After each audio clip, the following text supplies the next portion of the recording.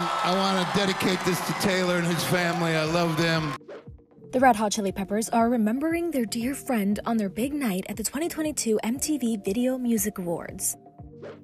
The rock band honored the late Foo Fighters drummer Taylor Hawkins in their speech while receiving the Global Icon Award. The group's drummer, Chad Smith, had some heartfelt words for his late friend. There's another uh, musical icon, global icon, and his name is my brother Taylor Hawkins. And I want to dedicate this to Taylor and his family. I love them, and I miss them every day. And uh, fly on, Hawk, fly on, brother. Thank you. That wasn't the only moving part of their speech. The band's frontman, Anthony Kiedis, thanked his bandmates for getting him out of a rough patch earlier in his career.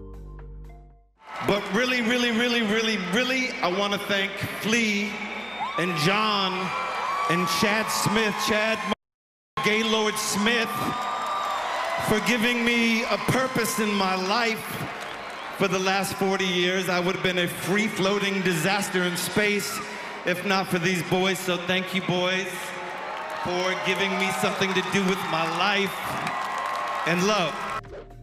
Before getting their prestigious award, the iconic rock band hit the stage and performed two of their hit songs, Black Summer and Can't Stop.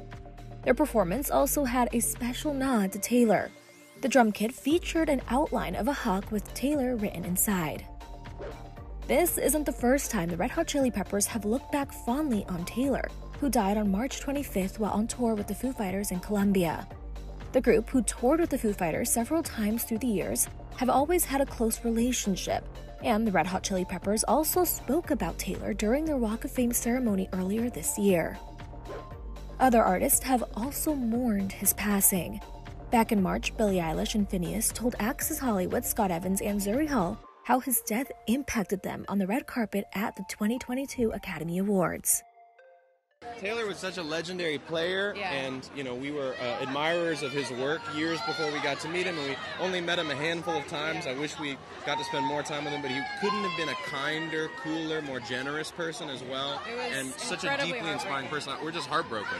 Yeah, our love to the It band. was and right. It was right before we went on stage, and we got the news, and it was really, Yeah, really, really tore us all apart. yeah, It's it's it's horribly, horribly tragic. legend. Yeah.